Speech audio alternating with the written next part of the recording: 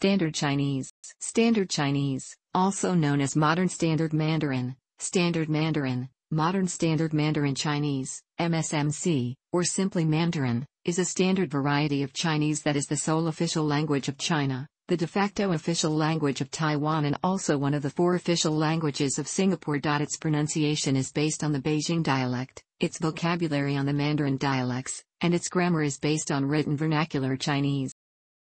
Like other varieties of Chinese, Standard Chinese is a tonal language with topic prominent organization and subject verb object word order. It has more initial consonants but fewer vowels, final consonants and tones than Southern varieties. Standard Chinese is an analytic language, though with many compound words. There are two standardized forms of the language, namely Putonghua in mainland China and Guoyu in Taiwan. Aside from a number of differences in pronunciation and vocabulary, Putonghua is written using simplified Chinese characters, plus Hanyu Pinyin romanization for teaching, and Guoyu is written using traditional Chinese characters plus Zhuyin for teaching. Many characters are identical between the two systems. In Chinese, the standard variety is known as Standard Chinese is also commonly referred to by generic names for Chinese, notably and, compare for English, and. In total, there have been known over 20 various names for the language. The term Guoyu had previously been used by non-Han rulers of China to refer to their languages, but in 1909 the Qing Education Ministry officially applied it to Mandarin, a lingua franca based on Northern Chinese varieties, proclaiming it as the new national language. The name Putonghua also has a long, albeit unofficial, history. It was used as early as 1906 in writings by Zhu Wenxiong to differentiate a modern, standard Chinese from classical Chinese and other varieties of Chinese.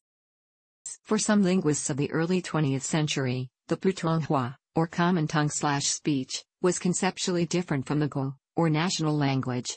The former was a national prestige variety, while the latter was the legal standard. Based on common understandings of the time, the two were, in fact, different. Guoyu was understood as formal vernacular Chinese, which is close to classical Chinese. By contrast, Putonghua was called the common speech of the modern man, which is the spoken language adopted as a national lingua franca by conventional usage. The use of the term Putonghua by left-leaning intellectuals such as Qu Qiubai and Lu Xun influenced the People's Republic of China government to adopt the term to describe Mandarin in 1956. Prior to this, the government used both terms interchangeably.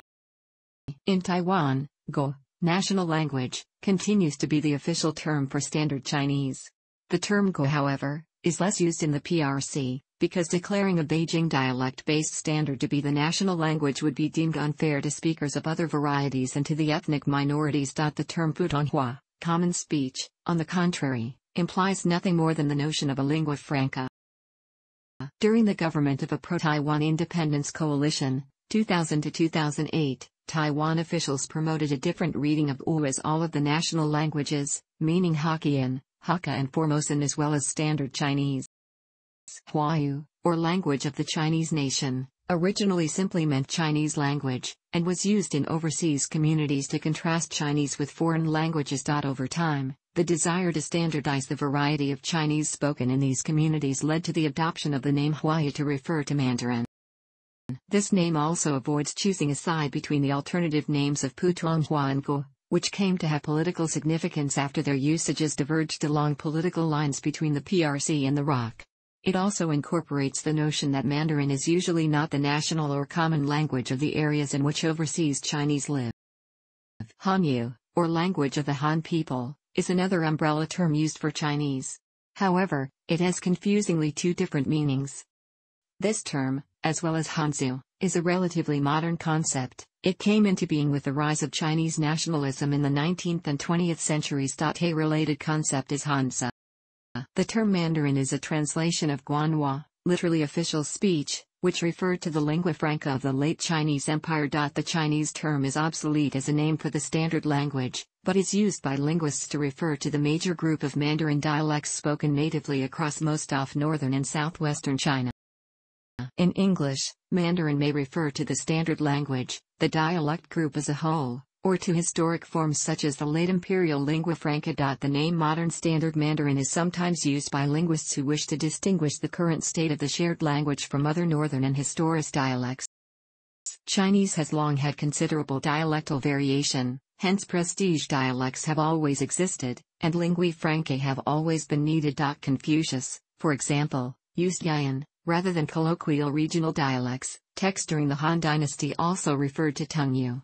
Rhyme books, which were written since the Northern and Southern dynasties, may also have reflected one or more systems of standard pronunciation during those times. However, all of these standard dialects were probably unknown outside the educated elite. Even among the elite, pronunciations may have been very different, as the unifying factor of all Chinese dialects, classical Chinese, was a written standard, not a spoken one.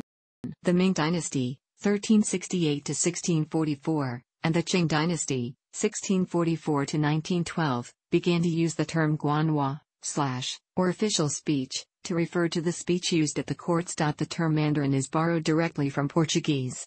The Portuguese word mandarim, derived from the Sanskrit word mantrin counselor or minister, was first used to refer to the Chinese bureaucratic officials. The Portuguese then translated Guanhua as the language of the Mandarins or the Mandarin language.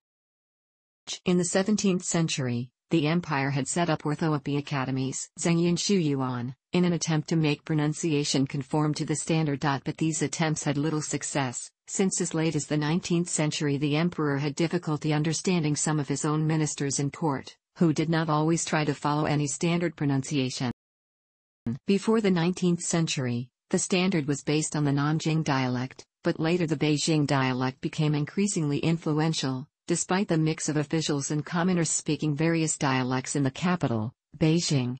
By some accounts, as late as the early 20th century, the position of Nanjing Mandarin was considered to be higher than that of Beijing by some and the postal romanization standards set in 1906 included spellings with elements of Nanjing pronunciation. Nevertheless, by 1909, the Dynqing dynasty had established the Beijing dialect as Guoyu, slash, or the national language.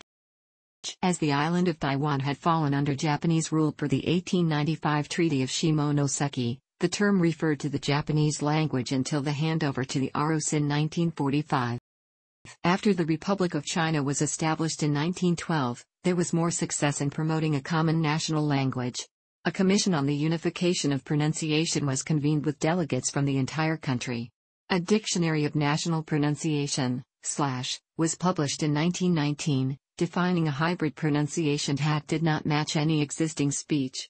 Meanwhile, despite the lack of a workable standardized pronunciation, colloquial literature and written vernacular Chinese continue to develop apace. Gradually, the members of the National Language Commission came to settle upon the Beijing dialect, which became the major source of standard national pronunciation due to its prestigious status. In 1932, the Commission published the Vocabulary of National Pronunciation for Everyday Use, slash, with little fanfare or official announcement. This dictionary was similar to the previous published one except that it normalized the pronunciations for all characters and taught the pronunciation of the Beijing dialect. Elements from other dialects continued to exist in the standard language, but as exceptions rather than the rule. After the Chinese Civil War, the People's Republic of China continued the effort, and in 1955, officially renamed Guoyu as Putonghua, slash, or common speech. By contrast, the name Guoyu continued to be used by the Republic of China which, after its 1949 loss in the Chinese Civil War, was left with a territory consisting only of Taiwan and some smaller islands. Since then, the standards used in the PRC and Taiwan have diverged somewhat, especially in newer vocabulary terms, and a little in pronunciation. In 1956, the standard language of the People's Republic of China was officially defined as Putonghua as the standard form of modern Chinese with the Beijing phonological system as its norm of pronunciation, and northern dialects as its base dialect, and looking to exemplary modern works in Baihua vernacular literary language for its grammatical norms. By the official definition, Standard Chinese uses. In the early 1950s, this standard language was understood by 41% of the population of the country, including 54% of speakers of Mandarin dialects, but only 11% of people in the rest of the country. By 1984, the proportion understanding the standard language nationally had risen to 90% and the proportion understanding the standard language among the speakers of Mandarin dialects had risen to 91%. A survey conducted by the China's Education Ministry in 2007 indicated that 53.06% of the population were able to effectively communicate orally in Standard Chinese. From an official point of view, Standard Chinese serves the purpose of a lingua franca, a way for speakers of the several mutually unintelligible varieties of Chinese, as well as the Chinese minorities, to communicate with each other. The very name Putonghua, or common speech, reinforces this idea. In practice, however, due to Standard Chinese being a public lingua franca, other Chinese varieties and even non-Sinitic languages have shown signs of losing ground to the standard.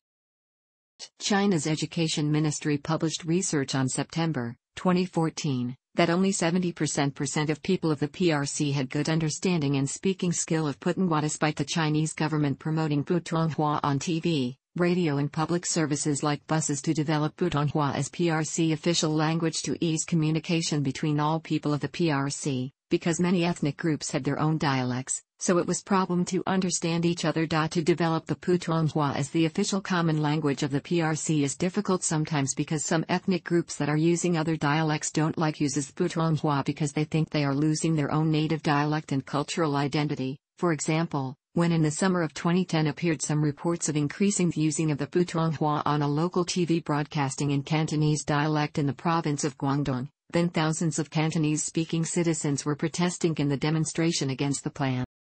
In both China and Taiwan, the use of Mandarin as the medium of instruction in the educational system and in the media has contributed to the spread of Mandarin. As a result, Mandarin is now spoken fluently, though often with some regional or personal variation from the standard in terms of pronunciation or lexicon, by most people in mainland China and Taiwan. In 2014, the Ministry of Education estimated that about 70% of the population of China spoke Standard Mandarin to some degree, but only one-tenth of those could speak it fluently and articulately. However, there is a 20% difference in penetration between eastern and western parts of China and a 50% difference between urban and rural areas. In addition, there are still 400 million Chinese who are only able to listen and understand Mandarin and not able to speak it. Therefore, in China's 13th five-year plan, the general goal is to raise the penetration rate to over 80% by 2020. Both mainland China and Taiwan use Standard Chinese in the official context and the governments are keen to promote its use as a national lingua franca. The PRC in particular has enacted a law, the National Common Language and Writing Law, which states that the government must promote Standard Mandarin. There is no explicit official intent to have Standard Chinese replace the regional varieties, but local governments have enacted regulations, such as the Guangdong National Language Regulations, which implement the national law by way of coercive measures to control the public use of regional spoken varieties and traditional characters in writing.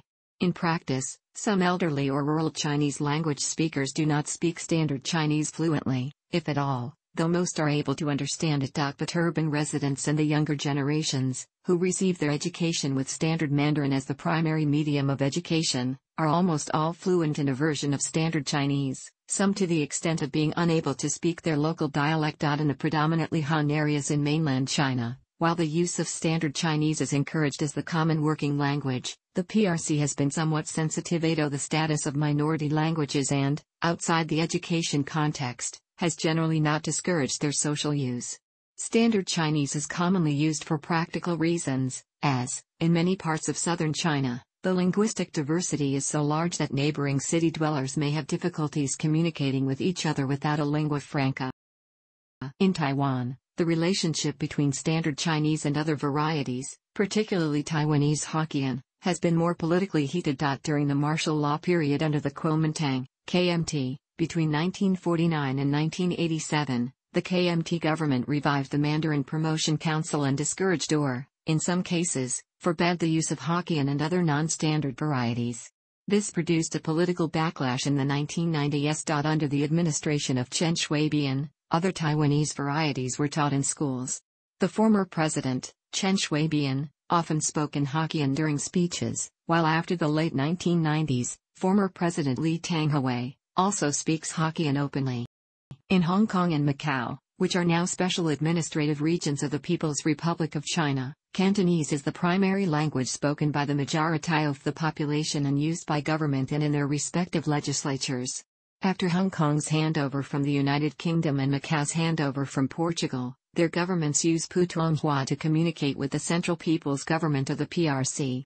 There have been widespread efforts to promote usage of Putonghua in Hong Kong since the handover, with specific efforts to train police and teachers.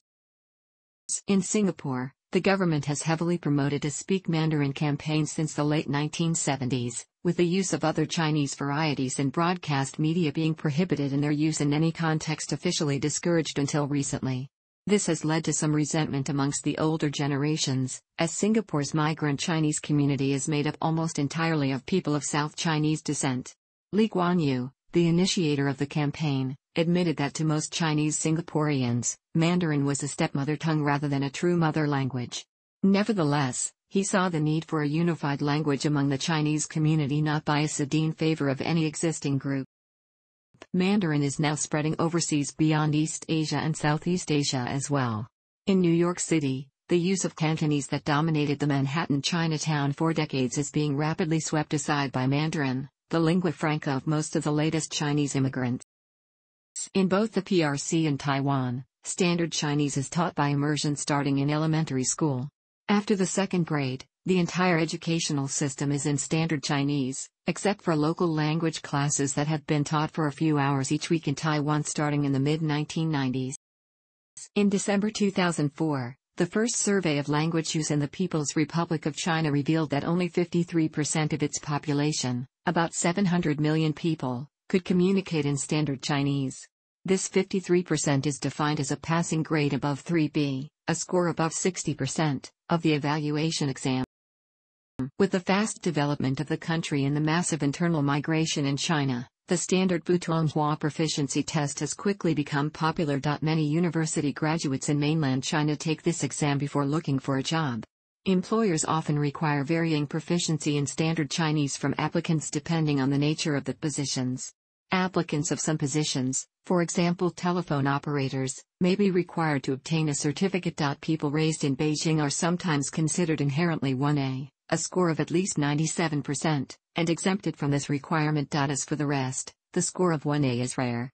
According to the official definition of proficiency levels, people who get 1B, a score of at least 92%, are considered qualified to work as television correspondents or in broadcasting stations. 2A, a score of at least 87%, can work as Chinese literature course teachers in public schools. Other levels include 2B, a score of at least 80%, 3A, a score of at least 70%, and 3B, a score of at least 60%. In China, a proficiency of level 3B usually cannot be achieved unless special training is received.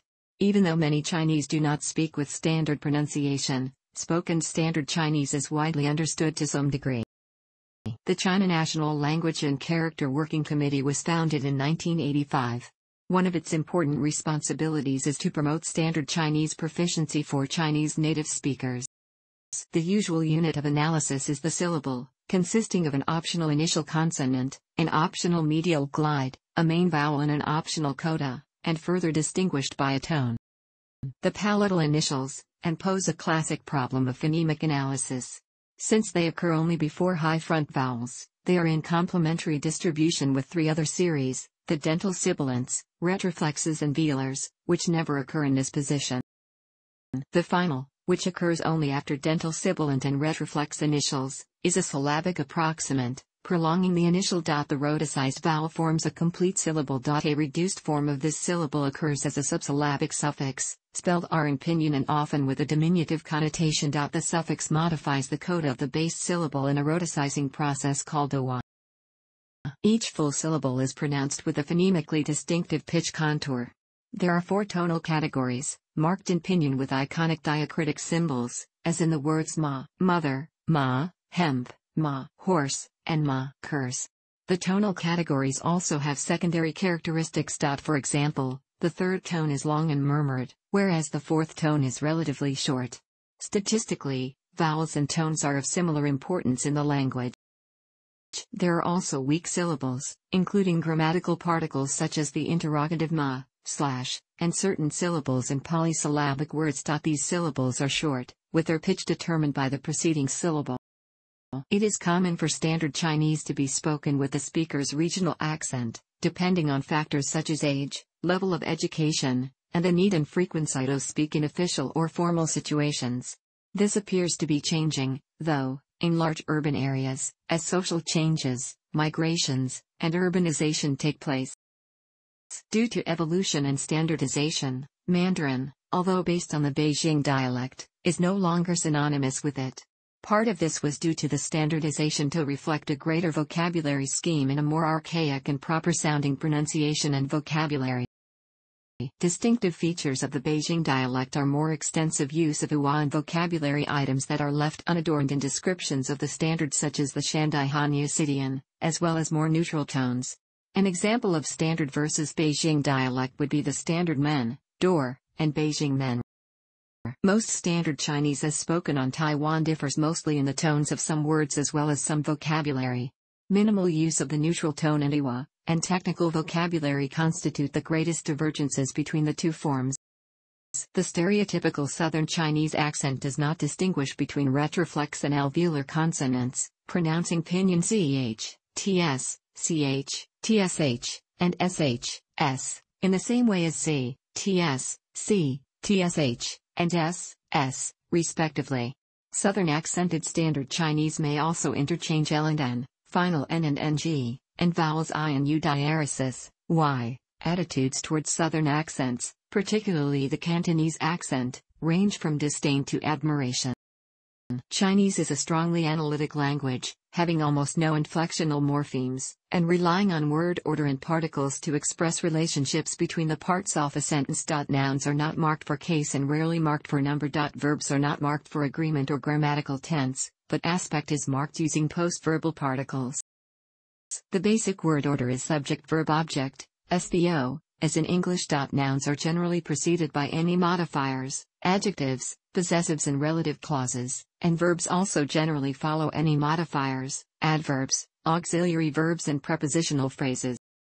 The predicate can be an intransitive verb, a transitive verb followed by a direct object, a copula, linking verb, she, followed by a noun phrase, etc.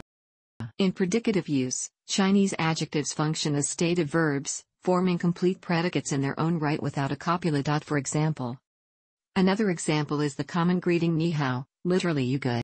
Chinese additionally differs from English in that it forms another kind of sentence by stating a topic and following it by a comment. To do this in English, speakers generally flag the topic of a sentence by prefacing it with as for.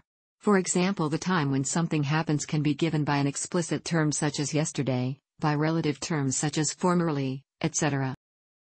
As in many East Asian languages, classifiers or measure words are required when using numerals, demonstratives and similar quantifiers. There are many different classifiers in the language, and each noun generally has a particular classifier associated with it. The general classifier GE, slash, is gradually replacing specific classifiers.